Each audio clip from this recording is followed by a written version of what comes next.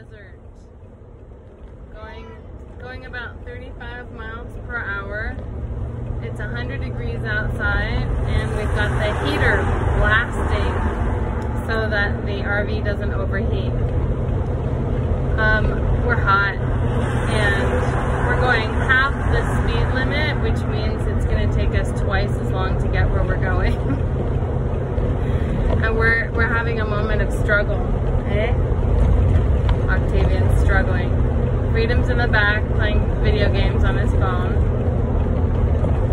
Um, my right foot is really tired and my muscles are getting sore. Of course, this is day two. We've had an amazing day, right?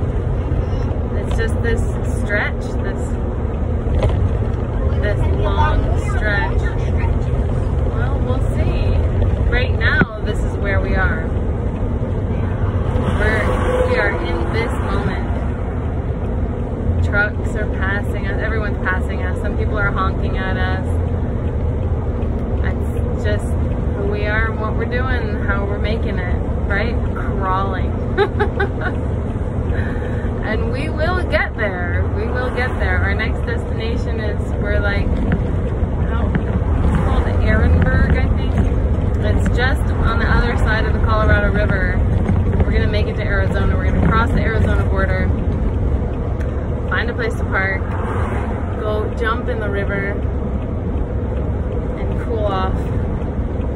But it's gonna take, and it's gonna take a good amount of time to get there. And we might actually have to pull over and wait a little while and keep the heater running because the car's overheating, the engine's overheating. Yes, I want to get this looked at by a mechanic, and I will hopefully once we're in Sedona. There will be uh, word, word of mouth. Some mechanic, someone says they're super kind and compassionate and fair, and they want to help us out. Um, because I don't know,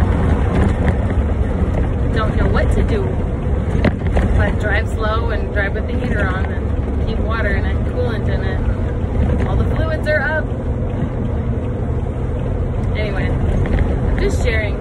We're gonna make it through, of course. We always do. Uh, even if it takes a really long, even if it takes twice